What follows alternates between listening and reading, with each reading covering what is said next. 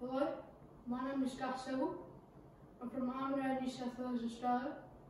My 24 mile campaign today is off Good of Lochrosque.